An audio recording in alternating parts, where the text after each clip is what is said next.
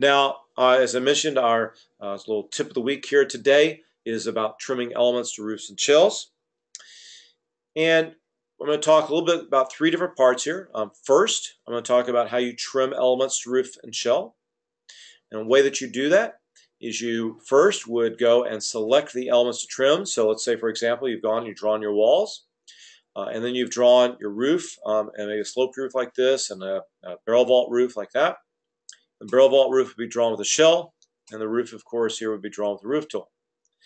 Once you've uh, you know drawn the elements, you would select uh, all the elements uh, that you want to use both to, the elements to be trimmed as well as the roof and shells that you'll, you'll trim too.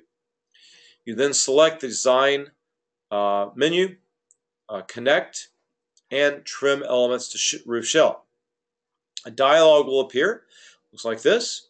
And you select the option here to use roof shells from current selection, and then it's going to trim that uh, appropriate to those elements. Now you can also trim elements by using uh, what's called uh, the cursor click option. And this is particularly helpful when, for example, maybe all the other walls in your project are already trimmed, but you've maybe made some changes or added a new wall here. And you need to trim this wall as well, but you don't need to go through the process of trimming all walls. So in this case, I might select just that wall and say um, that uh, I want to, you know, trim that element. So I'm going to select the elements to trim first. I'm then going to select Design, Connect, Design Menu, the Connect, Trim Elements to Roof Shell. And then what you'll see is a, a cursor will um, come up and it'll ask you, you know, to, to in what you want to do next is click the roof or shell element that you want to uh, use as your uh, uh, uh trimming um, uh, element.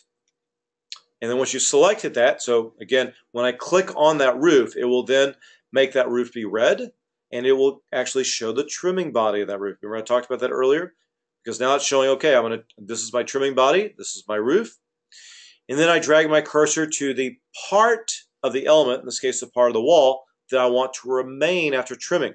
Okay, so I don't want to click up here because it's going to then trim uh, the bottom wall and leave these two ones to remain. So I want to actually click on the wall below, and then what it's going to do is it's going to trim uh, those two walls above, and it will then uh, turn off my trimming bodies, and you're then ready to go.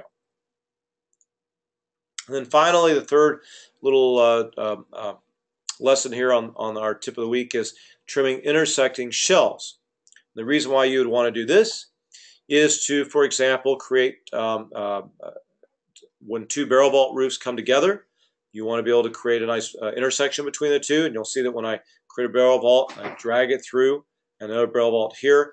Well, those you know are, are two different barrel vaults, right? And what we really want is to trim out uh, this part of the barrel vault and have a nice opening there, and vice versa. So the way you would do that is to, before you start, of course, turn on your trimming bodies so you can see those while you're working. The way you do that is go to View menu, On-Screen View Options, and Trimming Bodies. Once you've done that, you select both shells uh, from the uh, context menu. Uh, it means right-click, go to Connect, and go Trim Elements to Roof Shell. You'll then have this dialog will appear again saying you've used roof shells for current selection. Go trim, and it will trim uh, those two shells to each other. So again, this is a great way to kind of merge, if you will, uh, two shells together um, to create a uh, uh connecting barrel vault roofs.